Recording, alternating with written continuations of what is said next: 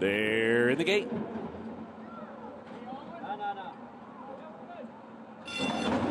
And they're off. Ben Diesel with a good beginning. Classic Causeway comes out running. Howling Time is there. White Abarrio showing speed as well. Into the clubhouse turn and Howling Time comes on through to take the lead. Goes a little bit wide into that turn, floating Ben Diesel two or three paths farther out. White Abarrio settles in to be third. Classic Causeway is going to rate today. Settles into fourth.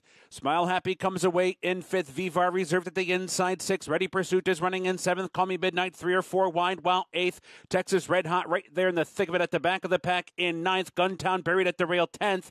Five lengths back to Red Knobs to trailer. Down the back stretch they go. The opening quarter goes in 23 and four fifth seconds, and it's howling time, taking the field along, leading by a length. Ben Diesel's prompting on the outside second. White Abarrio with a coveted spot toward the inside, covered up while third. Classic Causeways making progress now. Comes on to be fourth, three or four wide. Farther out to Smile Happy racing in fifth. Vivar's right there, two sixth, and only four lengths off the lead. Call Me Midnight's launching a wide rally with a wide trip there. Guntown's under pressure. Texas Red Hot Ready Pursuit and Red Knobs round the far turn. Howling time, feeling the pressure now. Ben Diesel comes on two wide. Classic Causeway comes on three wide. Smile Happy comes on four wide. Right in behind is White Abarrio begging for racing room. Vivar's trying to catch up too with Call Me Midnight. There's one furlong to go. Smile Happy strikes the front at the eighth pole. Smile Happy comes away with the lead. Classic Causeway tries to go with him. Ben Diesel gives it up late. White Abarrio howling time,